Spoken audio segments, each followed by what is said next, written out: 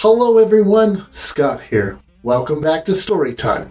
Today we're reading The Misadventures of the Galloping Goose, retold by Phillip Nilsson and illustrated by Patricia Sinex. Let's get started. Once upon a time, sort of long ago, and kind of far away, there was a little railroad called the Rio Grande Southern. This narrow gauge short line railroad carried people, mail, and freight over 161 miles of mountain passes, valleys, and steep cliffs in southwestern Colorado. The Rio Grande Southern mostly carried supplies to gold and silver mines, but it also carried mineral ores back from the mines to smelters in Durango and Denver.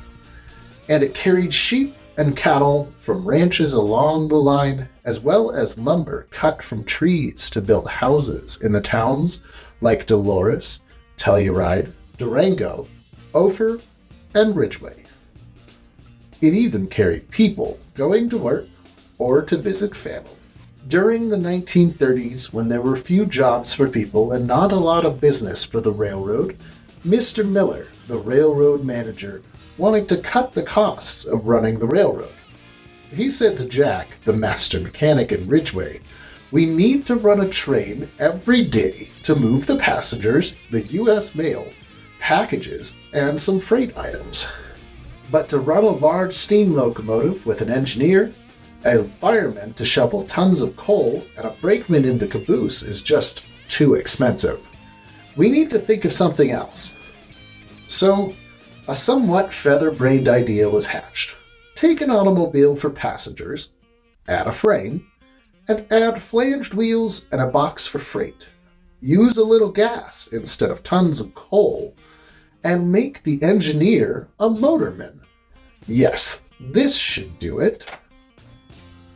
Master Mechanic Jack, with the help of the back shop boys at the Ridgway Roundhouse, got busy building something. They welded, sawed, nailed, cut, torched, riveted, sanded, machined, hammered, and painted. Some kind of thing. The first thing was built with a Buick Master 6 automobile with added flanged wheels from a railroad car and a box built on the back of it. And then a cowcatcher was added to the front to make it look like a train. Even though the motor powered thing looked funny, it worked well and was put to use right away moving passengers, mail, and small freight items. The thing was originally called a motor. The local people were not sure of what they saw. The wheels, not totally round, rolling on uneven rails, made the thing bounce and waddle down the track. The engine covers from the automobile front were left open to keep the engine from overheating. They flapped up and down with every bump and bounce on the track. The passengers, unsure of the newfangled thing flying over the track with a honking horn instead of a solid whistle of a steam locomotive, were flabbergasted. Why, look at that contraption, waddling and flapping and honking, just like some kind of galloping goose. Thus, it came to be called the Galloping Goose. The Galloping Goose was so successful that six more were hatched, similar to the original but each different. They were built from 1920s era Pierce Arrow automobiles and spare railroad parts. Although the gaggle of geese fleet was successful for the railroad, a few problems came home to roost. Sometimes there were animals on the tracks. On another occasion, the railroad got into trouble with the U.S. Postal Inspector when a U.S. mailbag and some mail was singed from getting too close to the wood stove, which was in the passenger compartment to keep the passengers warm. The mail inspector also became worried that passengers would start reading the mail. Sometimes, rocks blocked the tracks. One day, there was serious trouble. A goose and its passenger were leaving the snow shed at the top of Lizard Head Pass when the Galloping Goose's drive shaft broke, which also broke the line to the brakes. The Galloping Goose started to fly down the pass faster and faster toward Trout Lake. Motorman Fred was unable to slow the flapping goose. He had to think fast. What could he do to save the passengers? So, Fred told the passengers to fly the coop. They flew safely out of the fast moving goose into snowbanks. Then Fred himself flew off the goose, which was now on the loose and flying very fast down the tracks with nobody to fly it. Motorman Fred ran to the nearest telephone along the rail line and called the station agent at Ophir. A goose has flown the coop, and if it doesn't fly off the track, it'll be flying your way really soon. The station agent called the track workers at Vance Junction as the galloping goose flew past her station. There's a runaway goose on the loose. Try to catch it. The track workers grabbed a nearby large chain and threw it across the rails. And a little further down, they threw a second chain across the rails. After all, if one is good, two are better.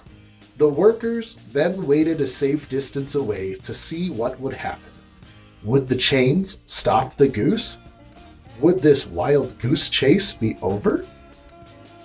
The flying goose hit the first chain, crashing and banging over the chain but not stopping. The first chain just slowed the runaway goose.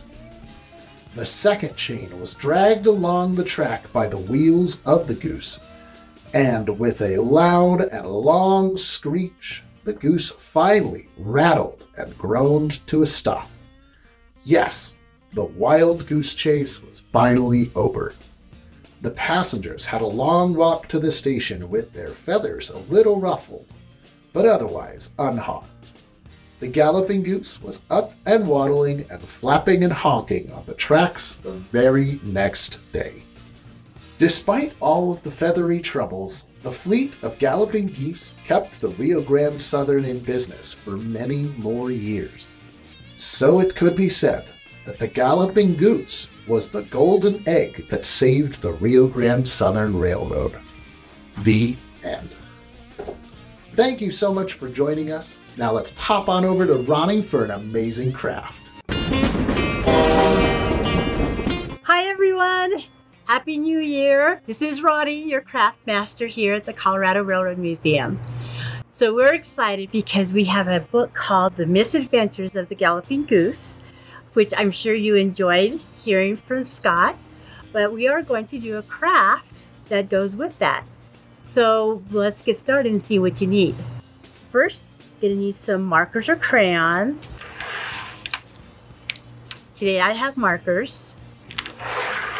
And then you're going to need a sheet that we have that you can download here on our website. So let's get started. So one of the things that they carried back and forth on the Galloping Goose was people. So I think I'm going to make part of the Galloping Goose. And there were seven total. I'm just going to put windows in here.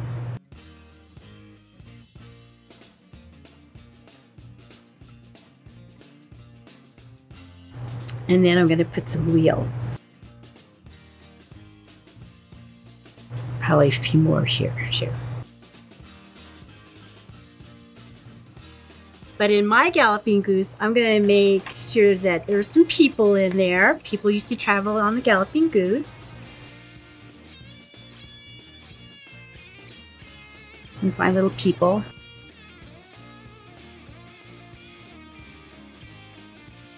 They also had food that they would transfer back and forth up and down the mountain. So maybe I'll make some apples. Oh, these are pink apples.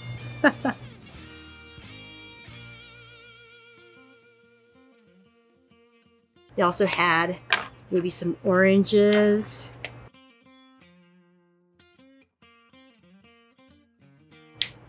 And put a few more fruits and veggies in here.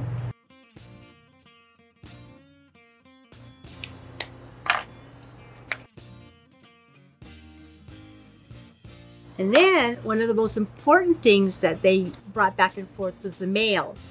So I'm going to make some little packages, maybe some letters, little envelopes, lots of packages. Never know who's going to bring stuff.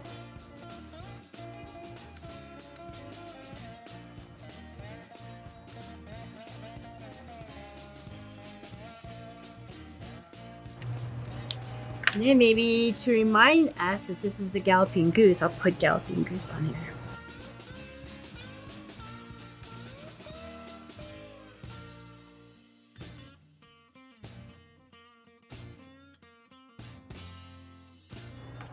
But you can have all the fun you want in creating your very own Galloping Goose. So there you go. Let me show you other examples that people have done for us. Here's somebody who just thought about the food going back and forth on the Galloping Goose. Here's some really creative ones that maybe even animals were on there and there was a, maybe a caboose attached. That might be a good idea so these guys can rest. Ah, there's one that's all about the mail. That's really good. And here's a uh, better example of what maybe it looked like back then. I hope you have lots of fun making your own Galloping Goose. I know I enjoyed sharing that with you and I really enjoyed the story. I look forward to seeing you all next time and you have a great month. Bye.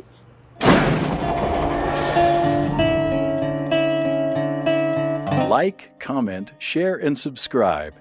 Be sure to visit our online gift shop for a wide variety of train themed children's books.